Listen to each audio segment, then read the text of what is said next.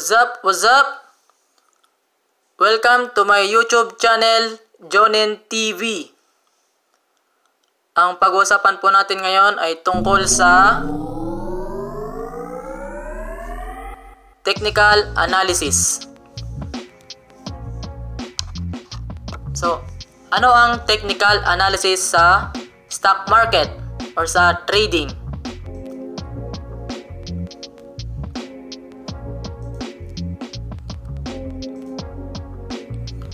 Ito ay isang uri ng pag-aaral sa chart na kung saan ay inaaral ang mga past market data. So, kailangan nating aralin yung mga nakarang ano, uh, price ng market. Bakit naman? Bakit kailangan pag-aralan ang past market data? Kailangan pag-aralan ang past market data dahil dito pwedeng ma-predict ang price sa susunod na trading day. So, kailangan talaga itong pag-aralan para malaman yung mga uh, price sa mga susunod na araw. Uh, importante po ito sa sa mga traders dahil dito nila dito nila malalaman kung sila saan sila mag-entry at mag-exit sa mga uh, trades nila. So sa mga newbie, kailangan po natin ito para maiwasan natin yung masunog yung mga pera natin sa market. So, so yan. Thank you. Yun po yung short po about sa technical analysis. Then, punta tayo po sa chart.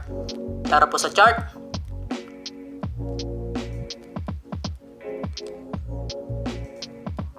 So, ito po po yung chart ng stock.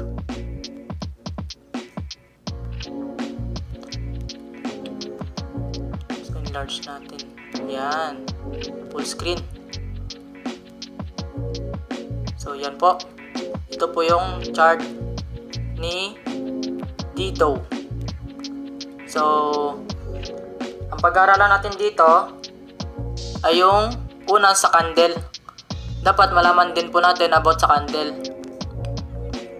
Yung halimbawa itong green, green candle. Ito po.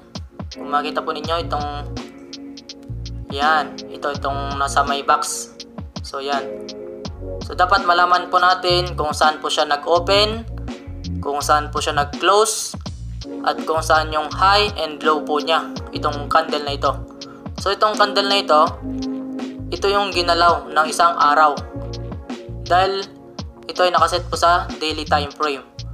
So ito po. Wait lang. Ayan. So dapat alamin natin kung saan po siya nag-close at saan siya nag-open. So saan siya nag-open? Dito po sa banda ito. Dito po dito. Sa bandang ibaba. Wait lang. Hanapin natin sa arrow. Arrow where are you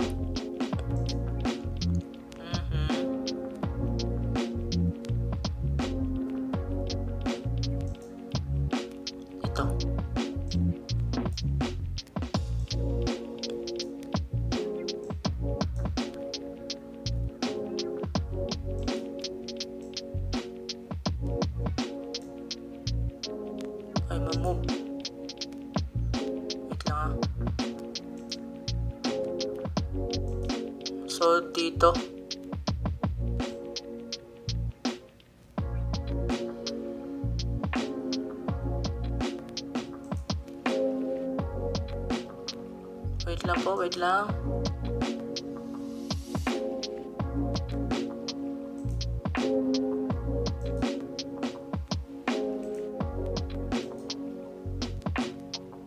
wait lang. parami ah. Wait lang po, wait lang po.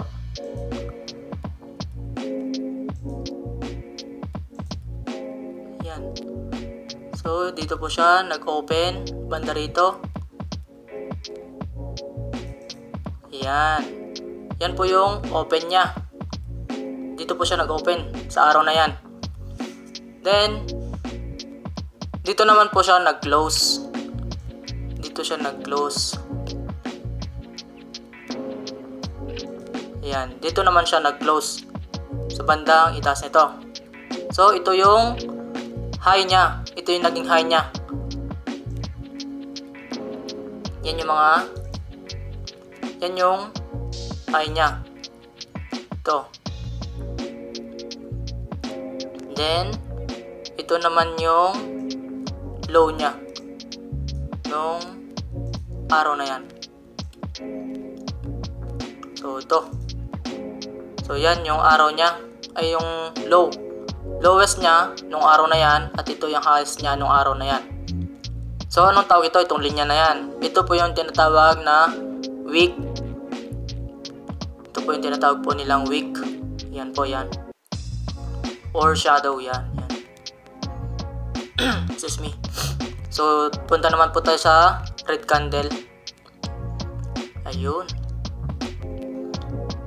Ito po si red, red candle to. Ito naman si red candle or si bearish candle. Yung green, bullish candle. Ito naman po is bearish candle. So, saan po yung open niya? Dito po, dito naman po siya nag-open, banda rito. Yan. Diyan po siya nag-open sa bandang itaas. Then, dito naman po siya nag-close sa bandang ibaba. Yan, dito naman dito naman po siya nag-close. Then, ito naman yung highest niya nung araw na yan. Yan. At ito naman yung naging lowest niya nung araw na yan. So yan. Yan po yung konting ano part ni candle. Sa bearish candle, dito po siya nag-open sa taas at dito siya nag-close. Dito yung highest at dito yung lowest niya. Sa bullish candle naman, bullish candle naman is dito siya nag-open sa bandang ibaba. At dito naman po siya nag-close sa bandang itaas. Then dito naman po yung highest niya nung araw na yan. Yan. At dito naman yung lowest niya sa araw na yan. Okay maliwanag po. So next. Yung mga yung tatlong uri ng uh, trend. So ano po yung tatlong uri na yon? Una, uptrend. So ito po. Excuse me. Ito po yung uptrend. Ito po yung uptrend. Ito po. Ito po yung uptrend na sinasabi. Yan. Ito po yung uptrend pataas. Yan.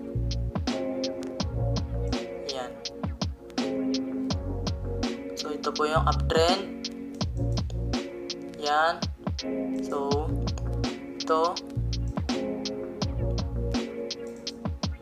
Yan po. Yan po yung trend.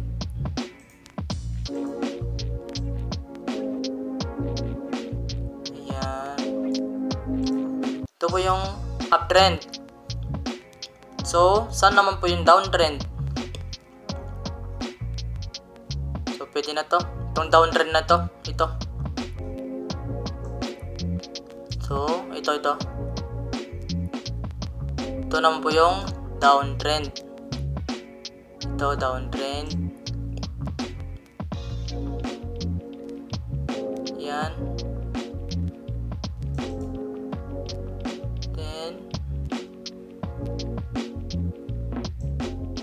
ayan. Yan po yung mga downtrend niya. Downtrend. Yan po, downtrend siya. Then, ito downtrend din. Dito uptrend. Uptrend. So, yung pangat pangatlo is yung consolidation. So, ano po yung consolidation? Ito po. Yung walang mas walang matukoy kung saan yung direction niya ito ito so So, ang gamit po natin dito is ito. Box. So, ito. Yung consolidation, ito po yung nag-steady lang po siya dito. Sa box na yan. Yan po yung hindi po natin ma-identify kung saan yung direction niya. Kung patas po ba or pababa. Pero kadalasan nangyayari sa ganito, nakadepende pa rin po sa trend po nito. Kung strong uptrend or strong downtrend. So halimbawa nagkonso po siya sa baba at yung trend niya sa pababa.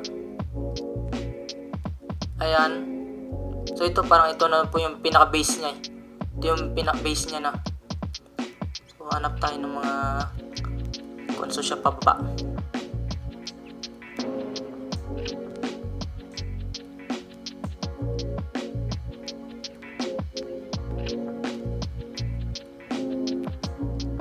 Ito, konso.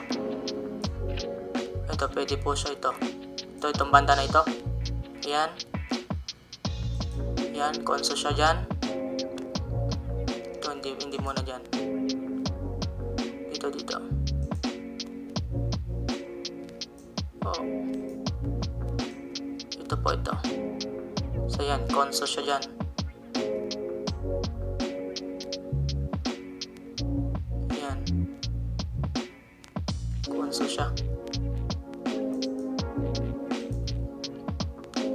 Konso. Ito po yung konso niya for downtrend. Bakit po downtrend? Kasi nag-create na po siya ng ito po. So low. Change color natin para makita.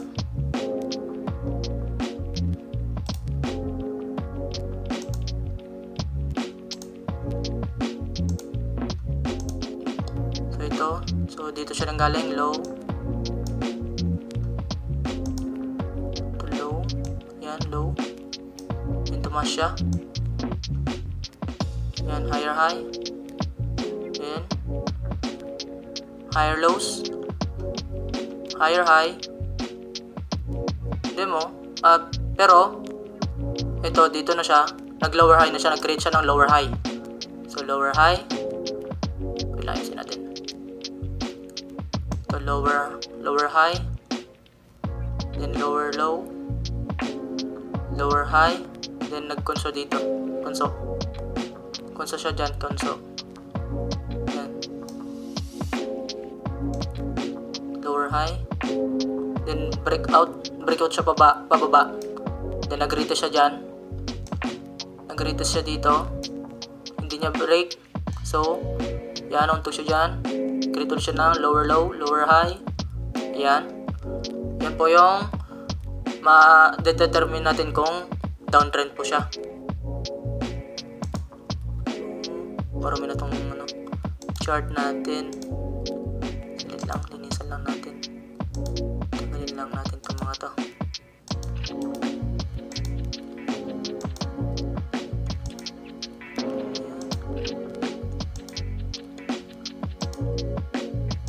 yan. So ito po yung konso po ng downtrend. Paano naman kung magkonso siya sa uptrend? Ayan naman po. Ayan, yan po yan po. Breakout then retest. Hindi niya na break so nag create ulit siya ng lower low. So retest ulit siya. Pero yung bagsak niya dito na. Dito sa base niya na yan so nag create na siya ng downtrend.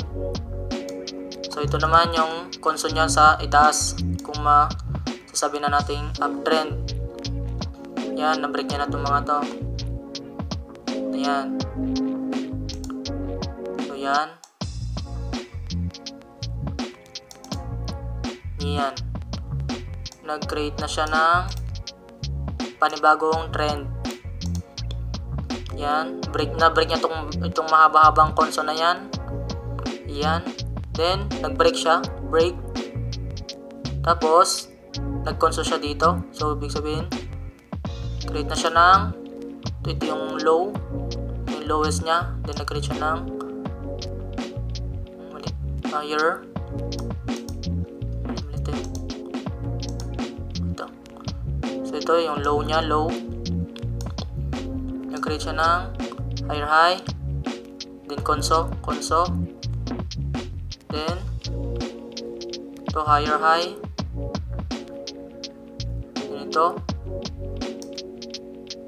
higher lows.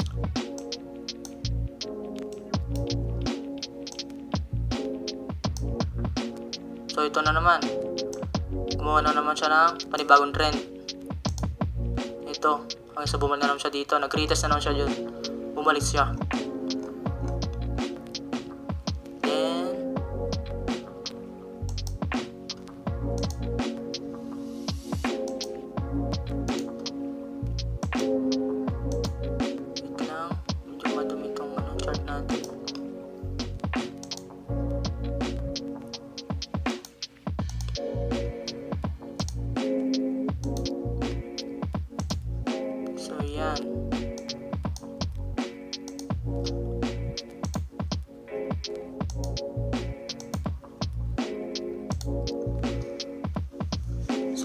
Tayo sa analysis. Basic. So, basic lang po. So, limbawa, dito muna tayo. Dito. Ayan. Dito. Alam mo, ito, ito muna yung ano, yung pinaka-peak niya. Halimbawa ito, ito yung pinaka-peak niya muna, pinaka-peak niya muna na price. So, nasa 8 8 pesos. Nasa 8 pesos po siya. Halimbawa po is maglagay po tayo ng ito, halimbawa ito muna yung major na resistance natin. Yan. Tapos ito. Yan. Kung ba ito yung strong strong resistance ito mga to. Then natin siya ng box. Kung ba ito yung major structure level natin. Basehan natin. Tapos tuwing napupunta siya dyan may price ano action may price action nangyayari. Nagre-react yung price tuwing ah, napupunta siya sa level na to. So, halimbawa ito. Bumagsak siya. Yung pumunta siya doon karoon siya ng reaction. Yun nauntog. Tapos bumagsak tapos umangat ulit pumunta ulit sa sa major structure level natin. Nauntog bumagsak na malayo malayo malayo layo na bagsak tapos dito dito so sa mga traders dyan for sure meron po kayong nakita dito na pattern. So may ang nakita ko pong pattern dito is yan po yan oh, iba natin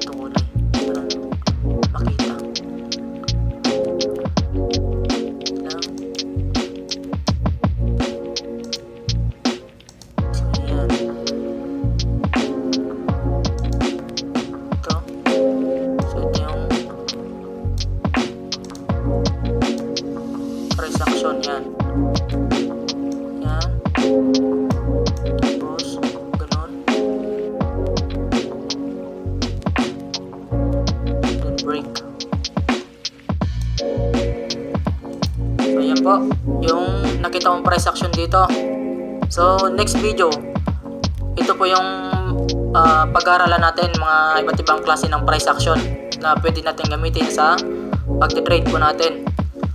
So ito po. So ito po yung tinatawag na inverse head and shoulder. Yan. Ito po yung mga ano, reversal, reversal, reversal pattern sa trading. So ito, head and shoulder. So ito yung shoulder niya. Shoulder, head, shoulder, breakout. So maganda yung pinakita dito. Yung breakout niya kasi big candle. Big candle siya, tapos may volume. May volume siya. Kaya so maganda, maganda siya.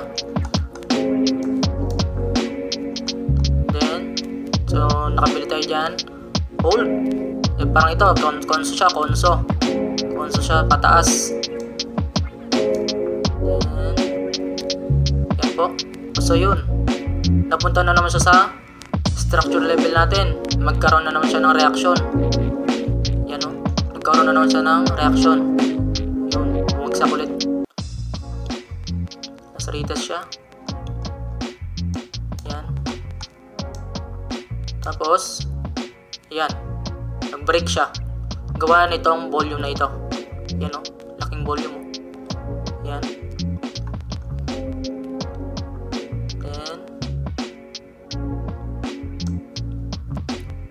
Yan.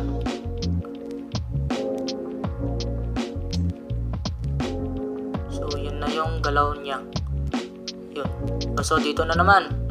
Nagkaroon na naman siya ng reaction dito sa level natin na ito. Yun o, nag-bounce siya. Yun. Bounce play. Yun o. So hanggang ngayon is konso na siya. Pakonso na siya. Ang hintay natin dito is breakout na lang ulit. Konso siya, konso.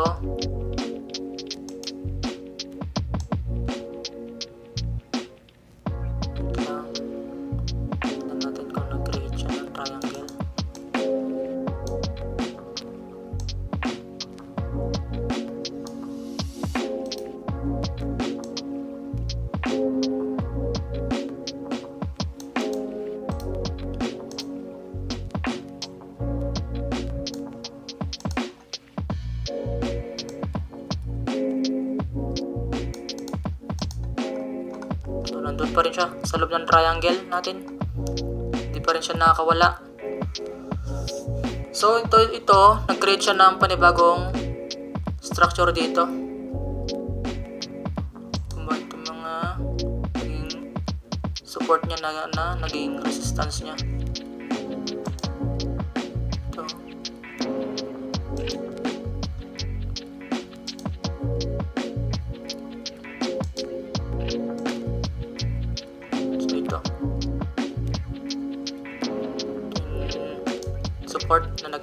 Resistance. So, yun, no? Ano? Naunto-unto siya dyan, no? Tapos, bumaba. Hintayin ulit natin ng breakout dito. Kung magkakaroon siya ng breakout dito.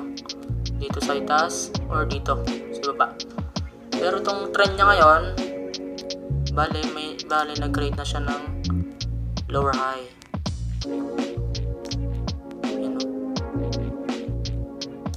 High.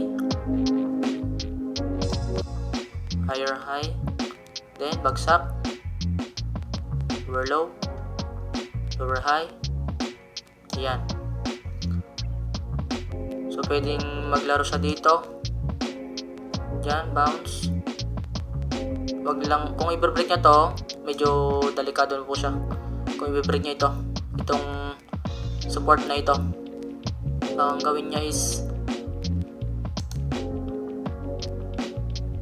ang gawin niya.